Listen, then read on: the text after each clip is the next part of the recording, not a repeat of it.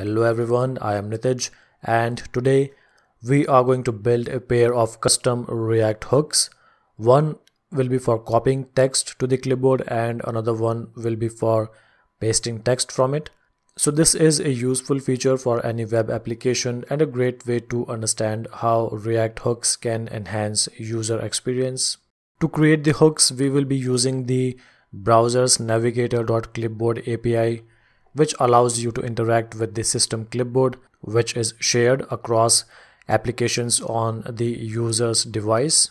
So first in the src folder, I will create a new folder with the name hooks and I will create another folder with the name use clipboard copy to copy the text and let's create another folder with the name use clipboard paste to paste the text from the clipboard let's also create the index.js files for both of them. So index.js let's start with the use clipboard copy hook. So first i will create a function for this hook. So const use clipboard copy equals to a new arrow function. And let's also export it as well first. So export default and then the function name which is use clipboard copy now from this hook, we are simply going to expose a function which will copy to the clipboard. So const copy to clipboard equals to instead of recreating this function again and again on multiple component renders we can use the use callback hook to cache this callback so that it will not be created again and again so for that i will simply first import the use callback hook from react and then let's use it over here. So use callback and then first we will provide the text as an argument for this function the text which is going to be copied. First let's check if the navigator has the clipboard api available or not. If it is available then we will simply call navigator dot clipboard dot write text then we will provide the text as an argument. When that is successful then we can chain the then callback with a function. For the sake of testing we can write to the console text copy to clipboard. We can also chain the catch callback by simply writing an error message to the console that the text has been failed to get copied to the clipboard. And then finally if the clipboard API is not available then we can simply log to the console a message that the clipboard API is not available. So that is pretty much everything we need to do for this copy to clipboard function. And now we just need to return it from this hook. And now one thing that I missed to provide here is the dependency array for the use callback hook which simply means that when we need to cache the use callback function so I am going to add an empty dependency array which simply means that this needs to be cached all the time. Let's move on to the use clipboard paste hook. So first I will add a function for the hook. So let's do that use clipboard paste. Now I'm going to use the use callback hook again for our clipboard paste hook as well because we are again going to add a function to paste text from the clipboard. So const paste from clipboard equals to use callback and this time use an async function. So instead of chaining the then and catch callbacks we can simply use async and await. So async and this is going to be our function.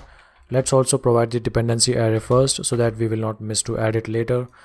And in this function we will simply check if navigator dot clipboard is available or not if it is available then we will simply fetch the text. So const text equals to await navigator dot clipboard dot read text. And how do we expose this text from this hook to the component which is using it? And that is by the means of creating a new state variable. So for that i will first import use state and then create a new state variable with the name pasted text so const pasted text and then use pasted text equals to use state. The default value is going to be an empty string. Sorry set pasted text. Alright so set pasted text and then we can provide this text as an argument. Now if the clipboard API is not available then we can simply log to the console that the clipboard API is not available although in a production application you will not log anything to the console you can simply use some kind of log manager or your custom logging implementation to only log messages to the console when your application is running in the development mode.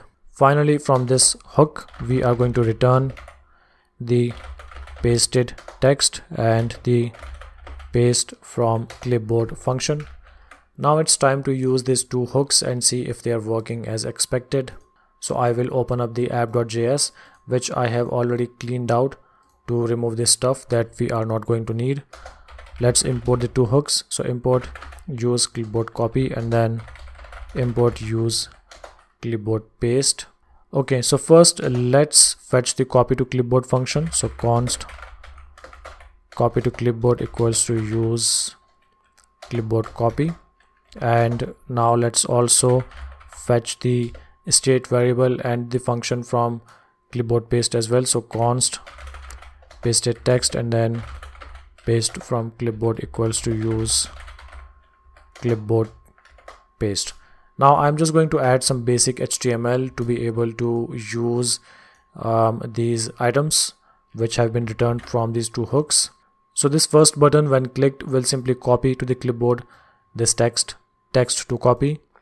The second button when clicked is going to paste from the clipboard the text which has already been copied into this paragraph by using this pasted text return value from this use clipboard paste hook.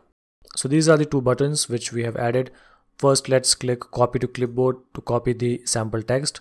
Now let's click on paste from clipboard. So the text to copy which we copied using the hook has been pasted over here.